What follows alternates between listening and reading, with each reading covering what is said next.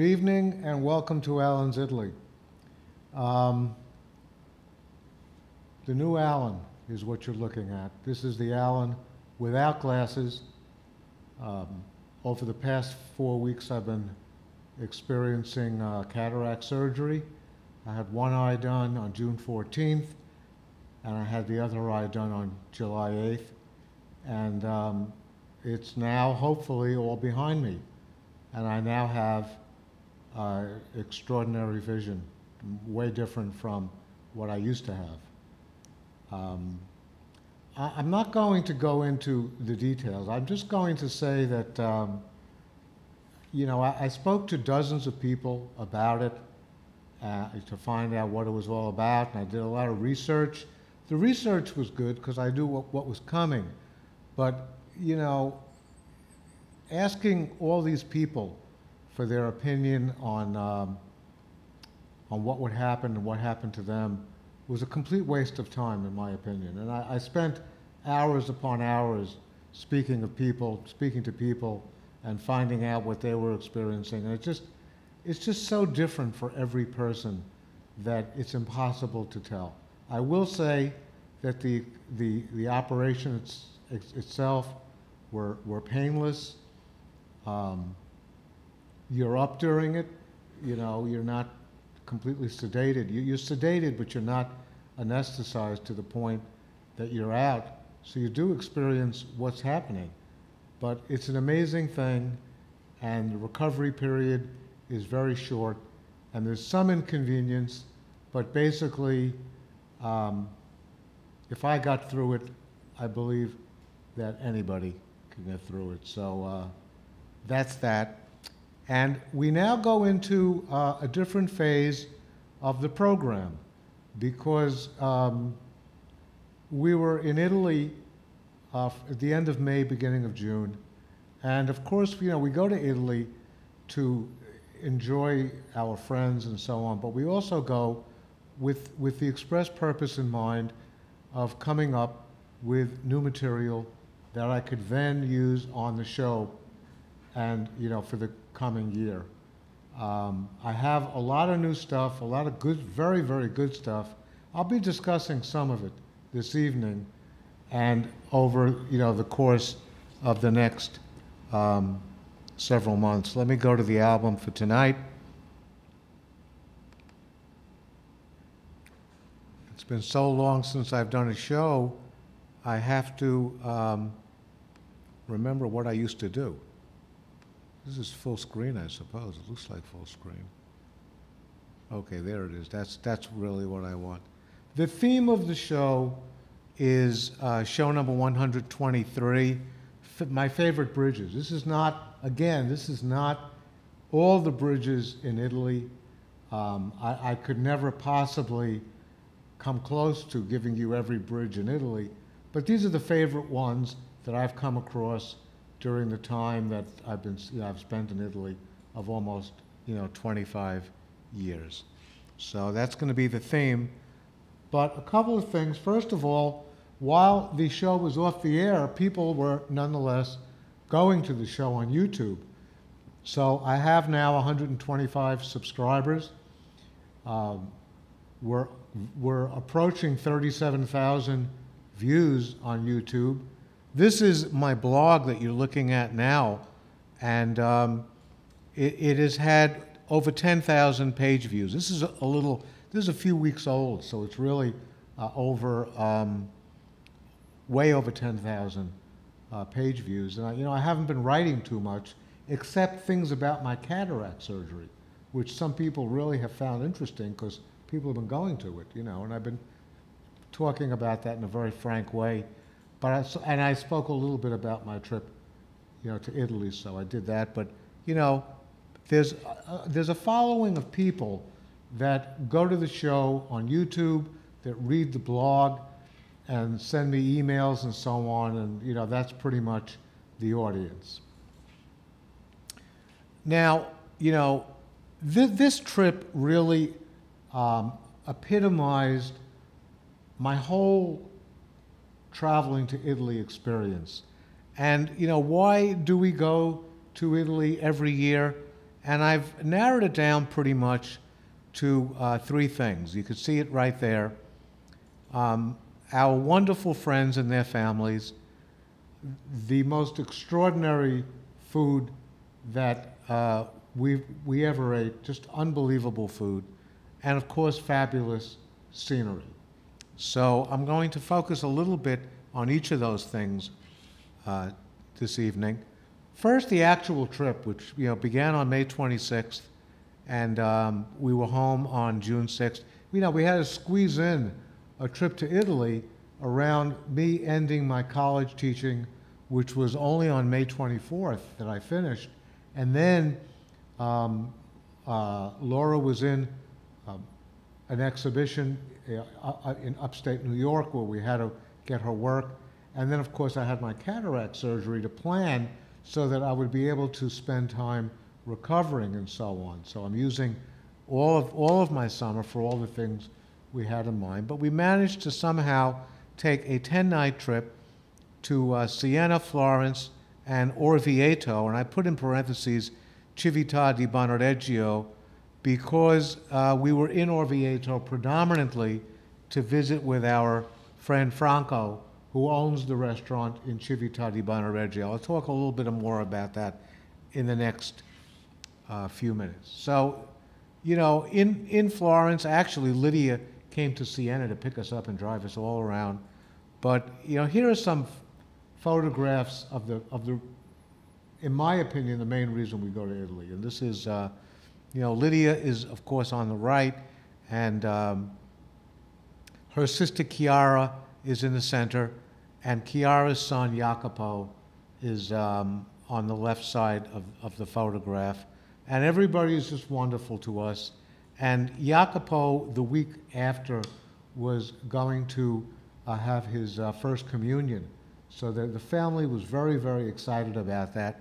We didn't get to see the whole family. We only got to see Jacopo, Chiara, and, and Lydia. So it was a little disappointing, but still it was a, a lot of fun.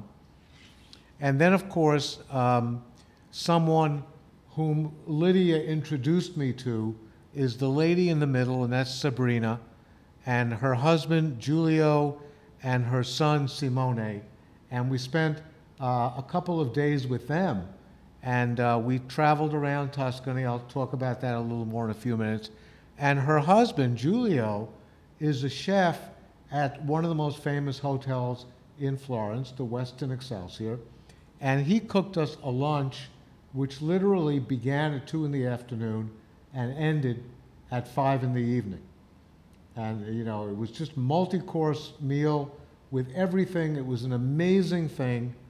And, um, and, then, and then, of course, they mentioned to us that they know this in, incredible pizza place in Florence, and we, were, we had no plans for the next evening. So they took us to this amazing place in Florence where we had very, very good pizza. And uh, while we were there, Giulio um, immediately invited us next year to come to the house and said, What would you like next year? So, you know, just wonderful, wonderful people.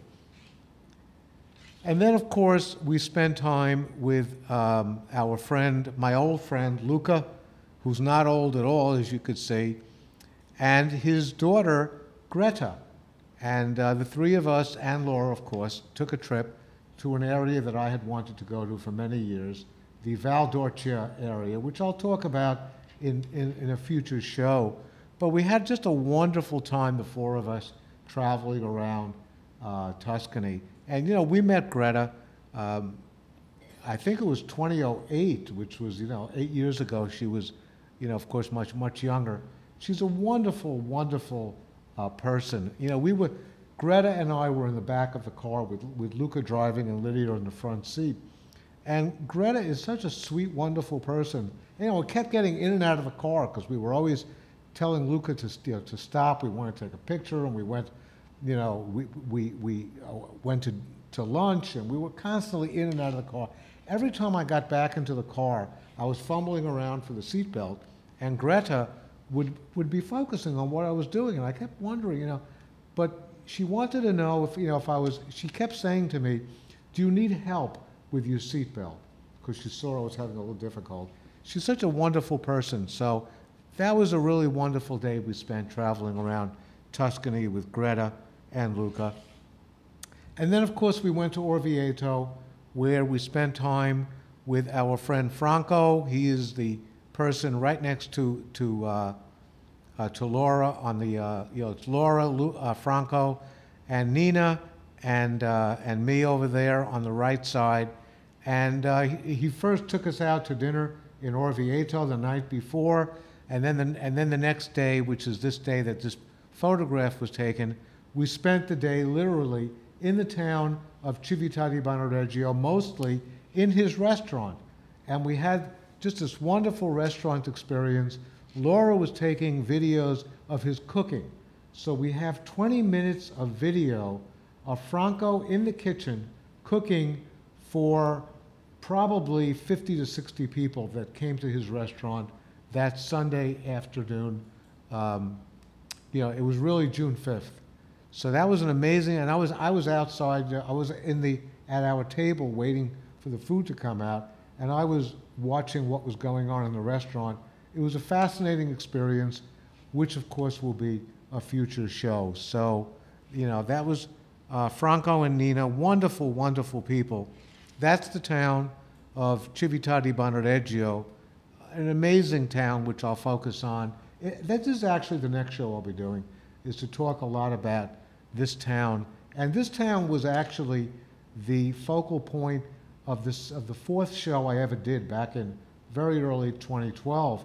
And the name of the show that I'll be doing next time will be uh, Return to Civita. So that'll be really nice. And I have some wonderful videos. This is another reason we, you know, love going to Florence, and this is Roger Crum. Professor Roger Crum, who's professor of uh, art history at the University of Dayton in Ohio, who's a wonderful person. And, you know, Luca and I like to have this friendly argument about who knows more about Florence, you know, Luca or, or I. And frankly, you know, Luca was born there, so he knows more than I do. But this fellow, Roger, probably knows more than the two of us put together. He is a genius on the city of Florence. And we had a very nice time spending.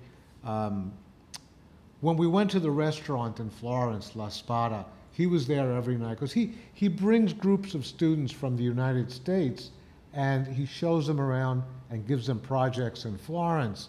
So he came to this restaurant uh, each night, and we always met him there. He came with the students, and you know the, the owner of the restaurant, Giuseppe and, and Agostino, the owners, would serve his.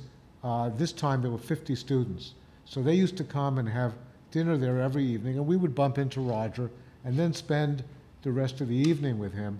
And that was a really wonderful experience. And then the day we left, on June 6th, uh, no, excuse me, we left Florence, I believe, on May 31st to go to, no, no, it wasn't May 31st.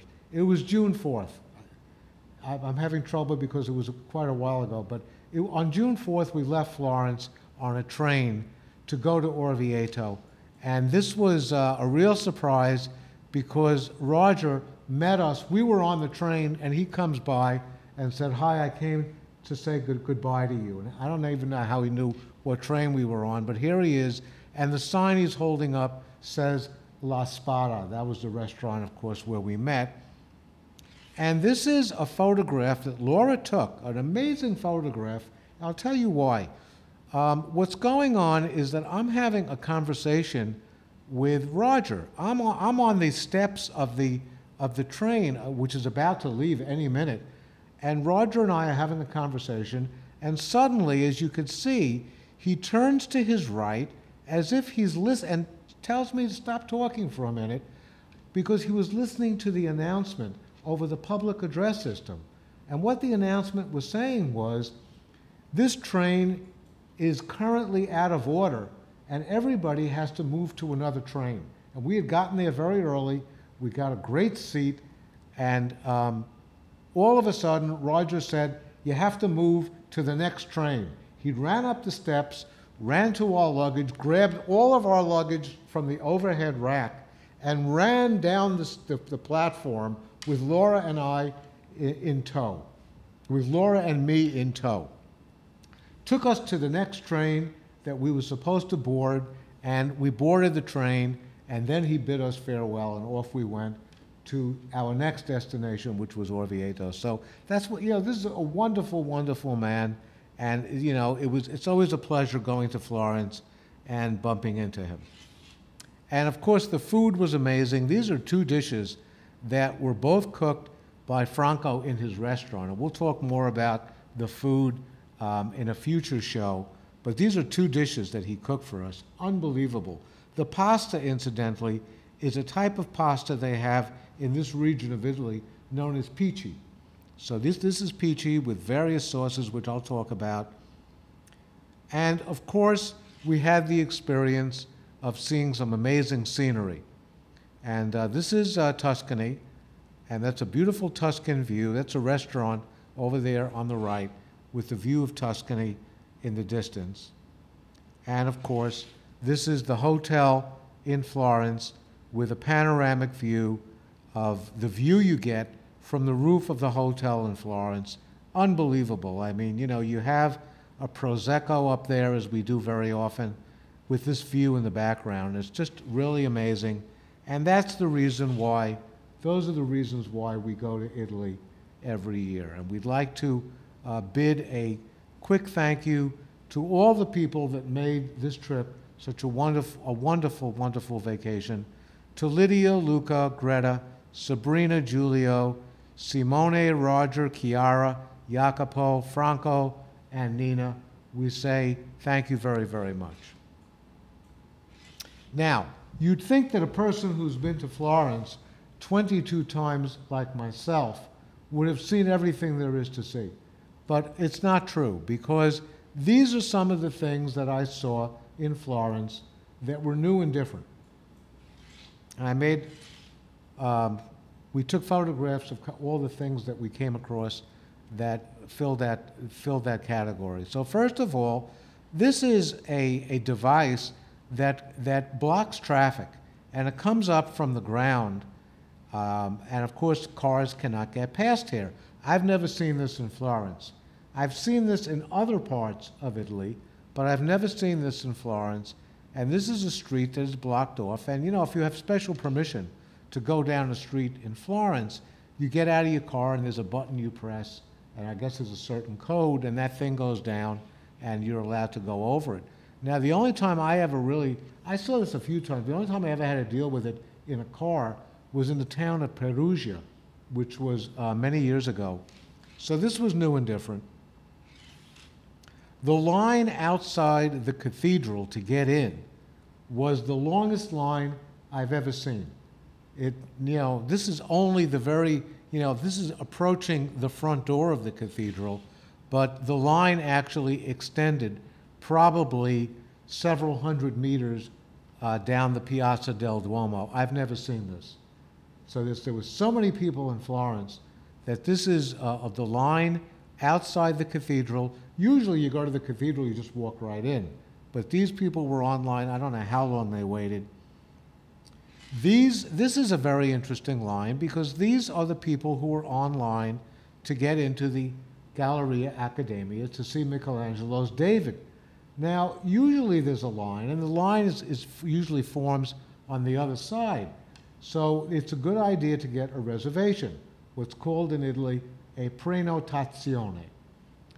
This is the reservation line. Not only was the regular line unbelievably long, but even the reservation line, which, was, which usually allows you to go into the museum extremely quickly, maybe 10 minutes, was a line that did not seem to ever end.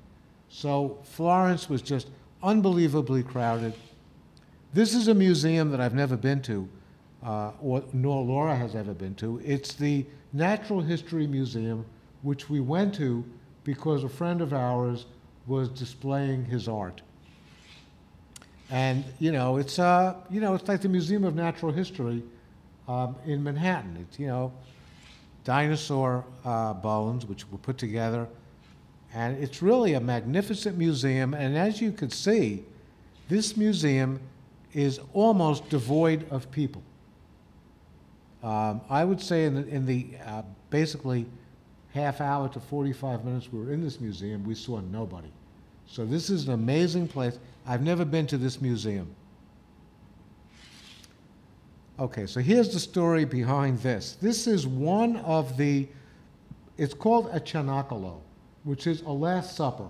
And of course, the most famous Last Supper is the one by Leonardo da Vinci, which is in Milan at the um, Church of, of Santa della Grazie.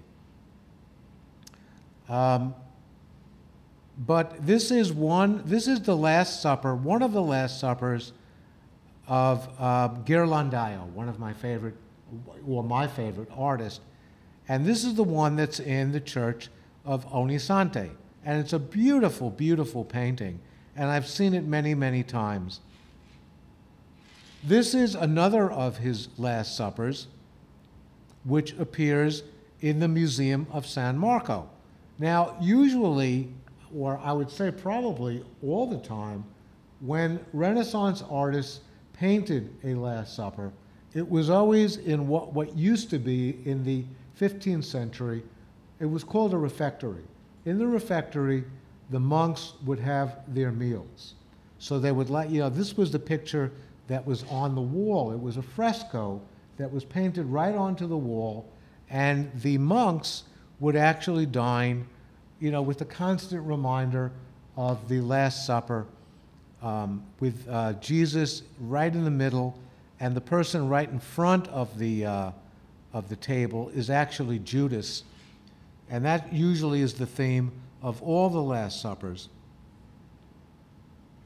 And, you know, it, and this, this, this particular Last Supper actually, you know, was in the refectory, but is now uh, the gift store at the Church of San Marco. And people just basically walk past it and as you can see, it's just a magnificent, a magnificent piece of art. But there's a third Last Supper, and I never saw it. And that, you know, for a Ghirlandaio fan, that's very hard. And I knew it was somewhere in Tuscany, and it was Sabrina and Lydia, mostly Sabrina, who told us that Ghirlandaio's third Last Supper appears in the town of Badia a Passignano, which is where we were last year during 2015. I actually did a show on Badia a Passignano. But this, paint, this uh, fresco has been under restoration for 10 years, and it was just open to the public. And Sabrina made, made it a point to call the person in charge of the monastery of Badia a to get special permission for us to go and to see Ghirlandaio's uh, Last Supper that we I had never seen. So this is what you're looking at now, and I can honestly say that I've now seen all three of Ghirlandaio's Last Suppers. So that was quite new and different for me as well. There's a store I've never seen before, a 99 cent store. And it sort of says that it's a discount store underneath it, as you could see, but it's, you know, the top part is in English, called a 99 cent store, just as we would see in the United States. So that was unique for me. The restaurant and um, store Eataly, which, you know, those of you who live in New York City, I don't know if there are Eatalys in other places around the country, but uh, New York City has a, a very large one in Midtown Manhattan but this is the first one that I have ever seen in Florence. And we spoke to that fellow right in front there who was a waiter, and he knew all about it and said that it's only been there for a few months. So once again, something I've never seen before in Italy, and Italy, which I heard has very, very good food. And this is, you know, one of the, one of the very uh, somber views uh, in Italy, and that is a a member of the uh, Italian Army patrolling some of the major tourist locations uh, to kind of watch out for terrorism. And this is one view of one of the soldiers. And these are not guys who just sort of, you know, hang around, you know, doing nothing. These are, they're very diligent and they're always looking around. I actually had a conversation with one of these soldiers in the town of Orvieto. And, uh, you know, I was asking them questions about, you know, and they're, they're there to try to um, prevent uh, terrorism. And uh, this is one of the soldiers in, uh, outside the cathedral. There's a, a back view, a rear view of one of them who was like right in the middle of the crowd to give reassurance to the people that there is, uh, you know, somebody watching over them. So this is something I'd never seen before in Italy. I've, I've seen horses, horse-drawn carriages in Italy, but I've never seen a horse actually eating. And this is a photograph that, that I took of a horse um, having their meal before they, you know, took people on a tour of Florence. All these things I've seen for the first time. This was an unusual sight. Um, although Florence was literally crawling with people, this was an empty street. And this is something you very rarely see in Florence at that time of the year. And you know, as soon as I, and I was, I was actually Laura and I separate one one day on our trip. She goes off where she wants to go. I go off where I want to go, and we just kind of, you know, do our own thing that day. And this is I was just walking down. I was trying to find streets that were deserted, and this is one of the streets I found, and I photographed it. And you know, it's amazing, you know, to come across um, a place which is actually completely devoid of people. I learned a new word in Italy, in Italian. The word is bomboniere, and this is what that is.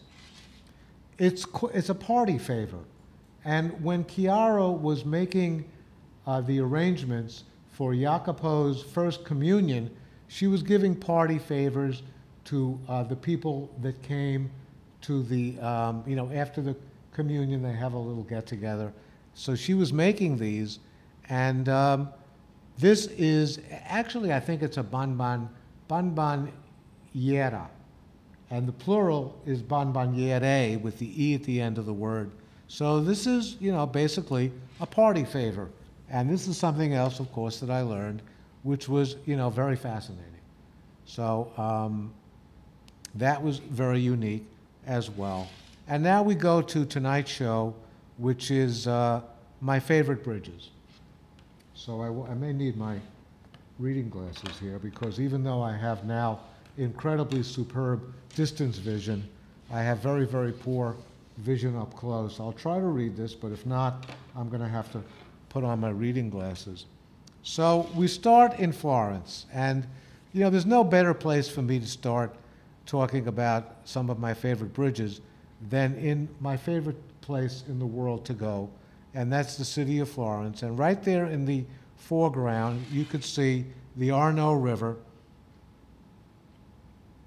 This is a magnificent view of the Arno um, that I took off the internet at sunset. And, um, you know, it's just a, a, view of some of the famous bridges right there in the, you know, the predominant bridge you could see there is the Ponte Vecchio. And that's the bridge we're actually going to begin with. So the Ponte Vecchio, here we go, was created for the first time during Roman times. So when this bridge was actually made, which was for the first time in the year 996, it used the exact spot where there was a Roman bridge a thousand years earlier. They found the remnants of that bridge. But the Ponte Vecchio that we're looking at now was built in the year 996. It was destroyed by floods in the year 1117, rebuilt, built in 1333, um, again destroyed uh, by flood. You know, it was built right after 1117, then destroyed by floods again in 1333 um, and then was actually not destroyed, but partially damaged in the very famous flood in Florence in 1964, where a lot of the water that um, came up very, very high. Luca remembers it and was, was, you know, talks about it a little bit, but it destroyed some of the very, very famous art at the Uffizi.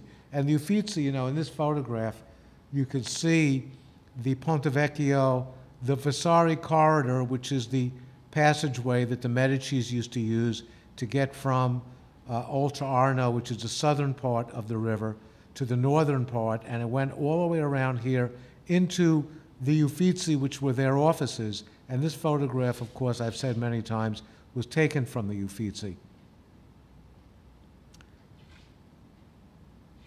And this is another view of the uh, Ponte Vecchio looking towards the west, and all some of the other bridges. The bridge that comes after it is the Santa Trinita Bridge, um, which was built in the 16th century. The next bridge is the Alla Carraia Bridge, which is the second oldest bridge in Florence, built in the 13th century. The bridge after that is the newest bridge, which is the Amerigo Vespucci Bridge. There's another view of the Ponte Vecchio. And that's actually walking on the Ponte Vecchio, which is traffic-free, a pedestrian-only walkway with the famous jewelry stores that I've spoken about many times. This is a view taken of the Arno looking east. Let me make sure that I'm right about that. Okay, to the right is south, so that would be, um, well, actually, I think that's to the west. Let me see, if you're, if you're on the south side going north, no, that's, if you're south going north, that side would be to the east. So that's towards Pisa. And this photograph is actually taken from the roof of the Westin Excelsior right on the Arno in Florence. This is the Amerigo Vespucci Bridge. Another view.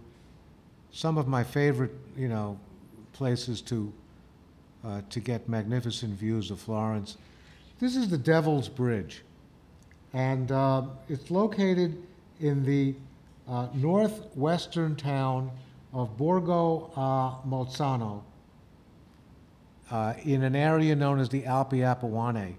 And it's a magnificent bridge, but it's not the only Devil's Bridge in the world. There are actually 10 bridges that go under the name of the Devil's Bridge. There's one in Bulgaria, uh, there's one in Portugal, one in Germany, in Switzerland, in Spain. There's actually one in Arizona in the United States. So there's a lot of Devil's Bridges, and this is one of my favorites. The, actually, the only one I've ever seen in, uh, in northwestern Tuscany. This is the bridge that goes uh, from the outside to the town itself in the Tuscan town of Loro Ciuffenna. I don't know the name of this bridge. I looked it up on the internet, but could not get the name. But this is a really beautiful bridge in a really beautiful town in, uh, in the Valdarno area of Tuscany. And then we go to Rome, that's the Colosseum. And this is a bridge which is known as the Pons Aemilius, which is the oldest stone bridge in Rome. It was preceded by a wooden bridge and then was rebuilt in the second century. And you can see that it's in ruin. And that's why it has the current name of the Ponte Rotto, which literally means the rotting bridge. And you could see that it's in pretty bad disrepair, but it's a very interesting bridge. And um, that's another view of it, what it looks like. There's actually a, newer bridge right next to it. So if you want to get a really beautiful view of the Ponte, Ponte Rotto, you walk along the bridge on the right side and you get to see uh, a very nice view of that bridge that I just mentioned. I'm trying to get rid of that on top. It's hard without getting that other thing on there. And this is another one of the bridges in um, in Rome. I don't I, I, don't know the name of this bridge. I'm trying to I, I can't get rid of it. Oh, there it goes. Okay, good.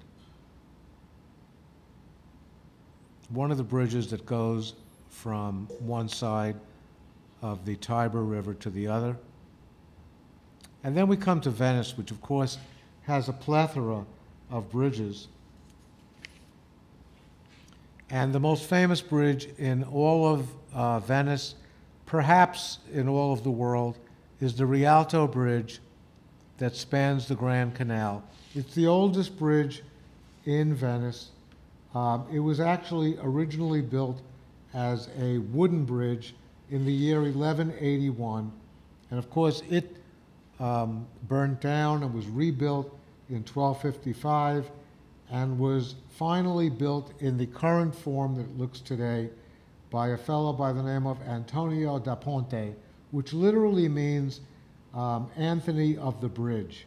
And it was built um, between the years 1591 and 16, 1600. Um, and it's the most famous bridge, certainly in Venice. It's a beautiful bridge.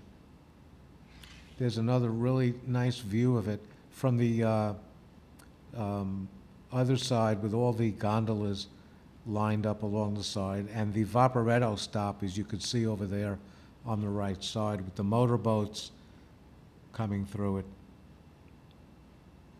This is the Bridge of Sighs, S-I-G, S-I-G-H-S, Bridge of Sighs, like, ah, that's, that's a sigh.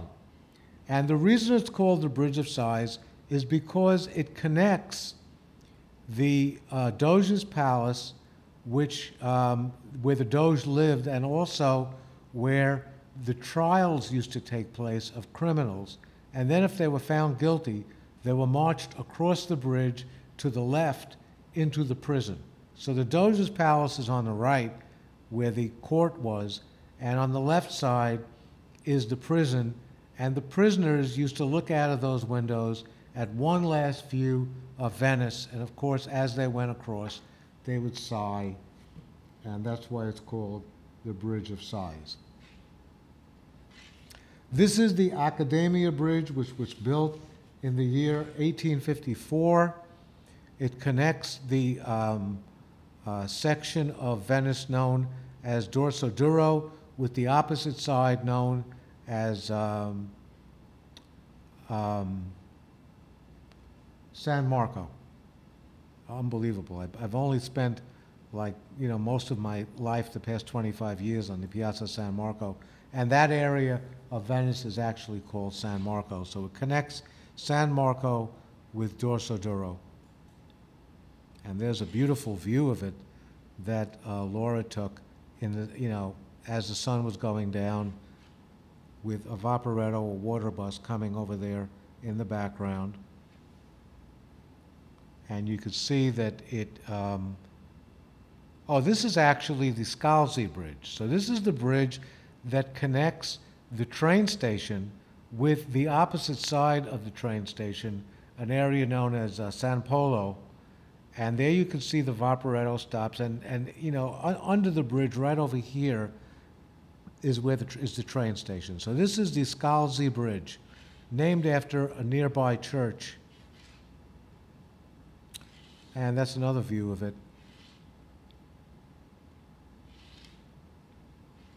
With the people going back and forth to the train station. This is the newest, incidentally, the Scalzi Bridge was built in 1934. This is the newest bridge of all the bridges in uh, Venice called the Calatrava Bridge, and it was built by uh, an architect by the name of Calatrava.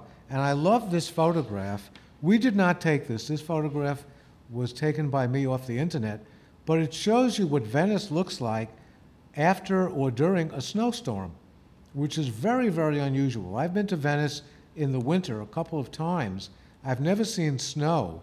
I've seen a few floods from the uh, Acqua Alta um, situation, which means the high tide. But this is a view of Venice with, which is, you know, a, very, very, it looks like a very, very slim covering of snow. But this is what it looks like when it's really cold. You can see the people bundled up going across the Calatrava Bridge, which connects the Piazzale Roma with uh, where the um, with the with the piazza where the train station is located. And this is another of my favorite bridges in uh, Venice.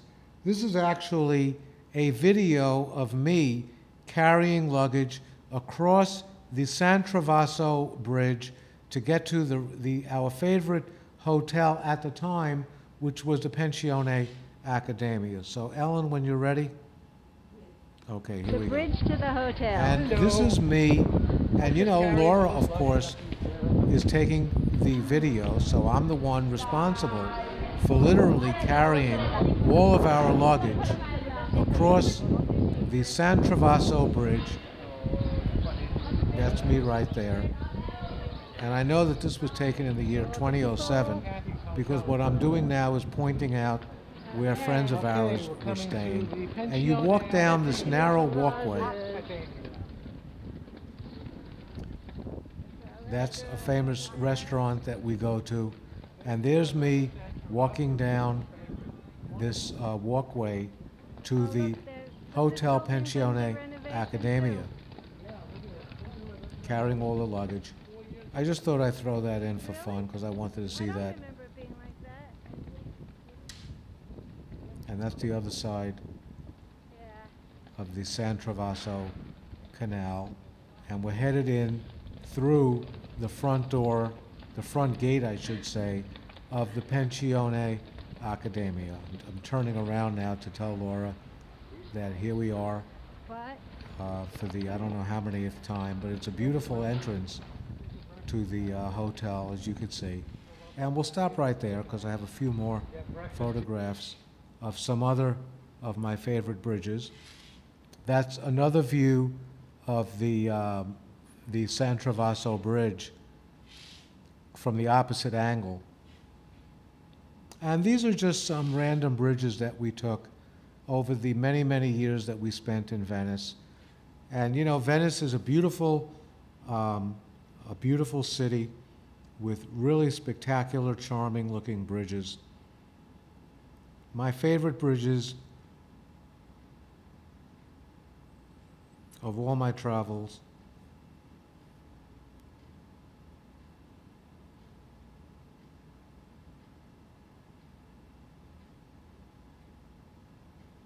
This is actually a bridge that's not in Venice, but in the neighboring island of Murano. You know, these hundreds of year old canals with bridges, many of them, you know, that we travel. We, we, we try to go to some of the more um, obscure locations in, in Venice, so you can see that most of the bridges are pretty devoid of people because we always try to go away from the tourists.